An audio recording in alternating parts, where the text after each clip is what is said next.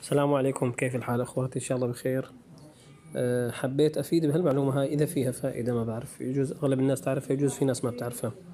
بالنسبة للبوابة الحكومية الاي دولات أه، في بعض الناس مسجلة القيد بالنفوس بيطلع عنوان بيتها صحيح بقيد بالنفوس لكن بقيد الهجرة بيطلع عنوان غير عنوان. فلذلك أنا راح أه، يعني أشرح لكم كيف الواحد يعرف إنه القيد مسجل آه، النفوس مثل آه، مسجل بيازيد مثل مو مسجل بالنفوس. نفوت على هي إشارة البناء ثاني وحدة من على اليسار. تمام؟ تطلع لنا كل البوابات الحكومية للخدمات. نحن بدنا الجوتش إدارة سي. هي. جوتش إدارة سي. تمام؟ تطلع لنا آه، هي آخر وحدة الهلال طبعا إشارة الهجرة. والجوتش إدارة سي. جينال مدير مدير. ما بعرف يعني جزء خربط المهم نفتح عليها.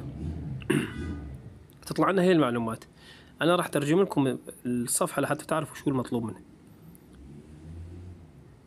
مثلا عم يقول نتائج الاستعلامات عن المعلومات الشخصية الخاصة بالحماية المؤقتة.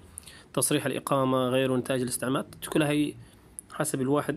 تصريح مرور هاي إذن السفر. المهم على أول وحده هاي معلومات تطلع لك انت شو مسجل وشو عنوان بيتك تمام؟ أنا راح ترجمها على العربي طبعا. شايف أنا عنوان بيتي باسلر هو عاطيني بغازي عثمان باشا. و...